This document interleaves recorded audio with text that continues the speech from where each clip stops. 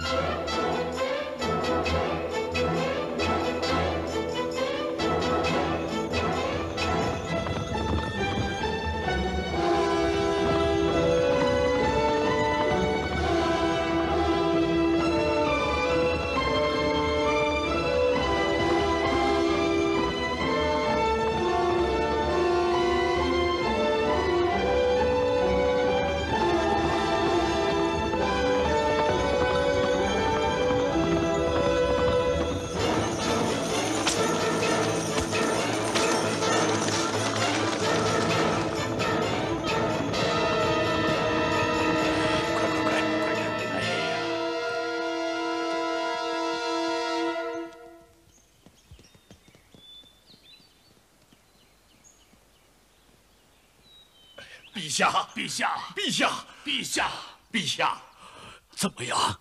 安禄山他反了。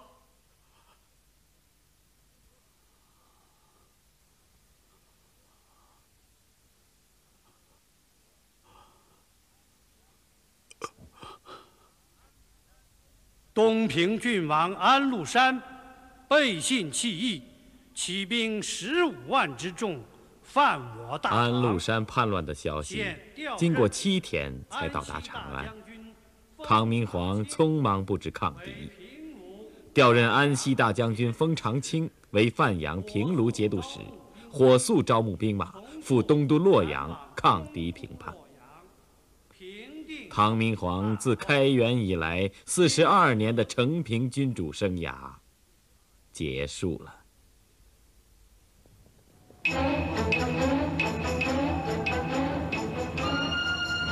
安禄山十五万叛军，十一月九日从幽州发兵，连续攻陷定州、常山，占领北都太原。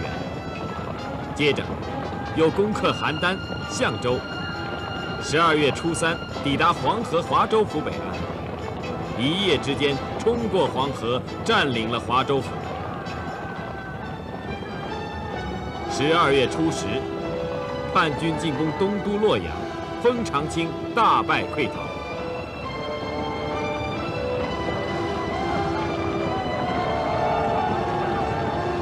天宝十四载十二月十三日，继安禄山起兵后的第三十四天，洛阳沦陷。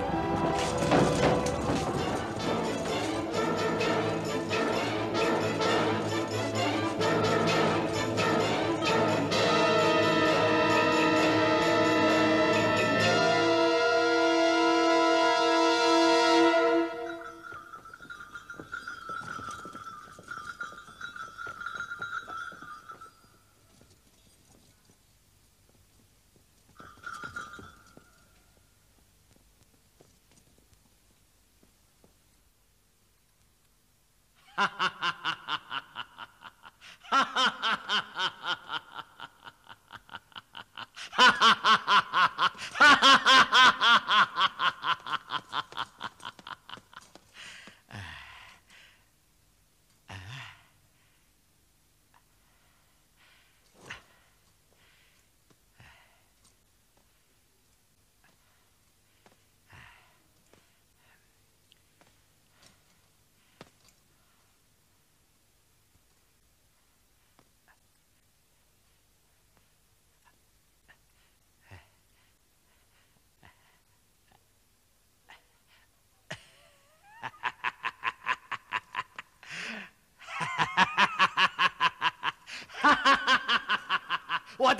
等铁骑十五万，啊，直捣中原，只用了三十四天的时间，就夺取了东都，真乃天助我也！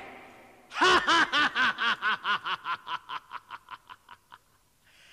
我命尔等夺取潼关，直取西京，不得有误。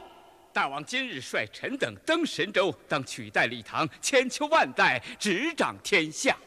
李唐朝臣君臣无道，父王理应登大宝，以顺天意。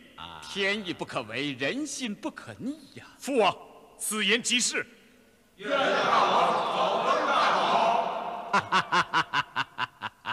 你们他妈都给我起来吧！哎，等级的事，等取了潼关再议。